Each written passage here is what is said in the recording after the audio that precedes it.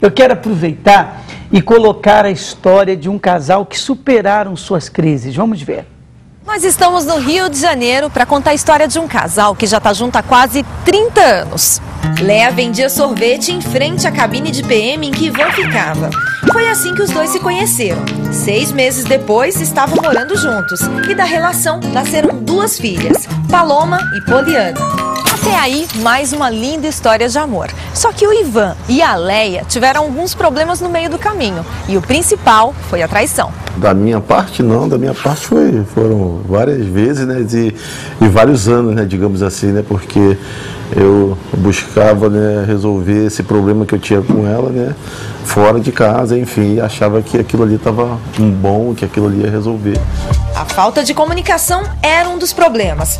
Léa também achava Ivan explosivo demais na hora de conversar. Ele, em contrapartida, sempre acreditou que a liberdade que ela dava facilitou o envolvimento com outras mulheres. Ele nunca aceitou eu falar assim: você está indo aonde?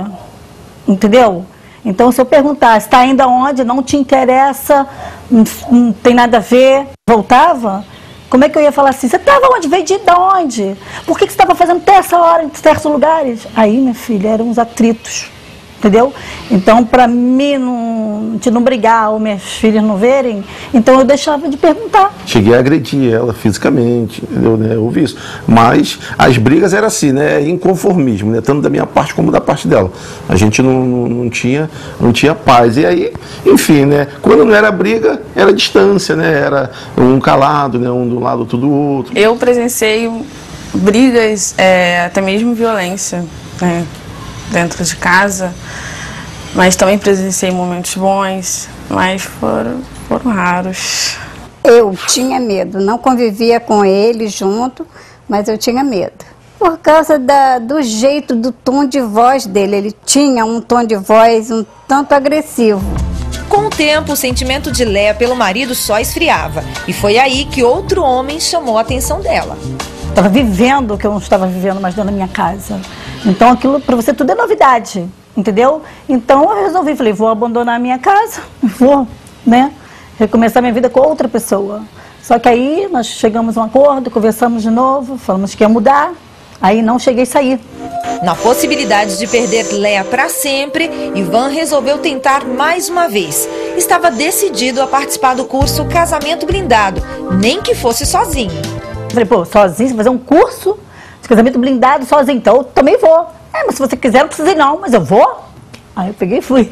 Encontramos os dois no último dia de aula. E nesse período de reconciliação, as orientações do Renato e da Cris são seguidas à risca.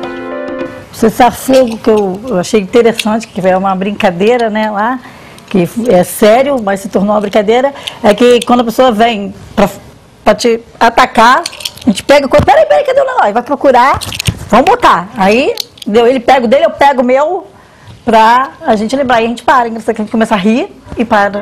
As mudanças estão acontecendo aos poucos, mas já fazem toda a diferença. Posso dizer hoje em relação lá atrás, só love. o próximo passo agora é oficializar a união. Todo mundo vai ser madrinha.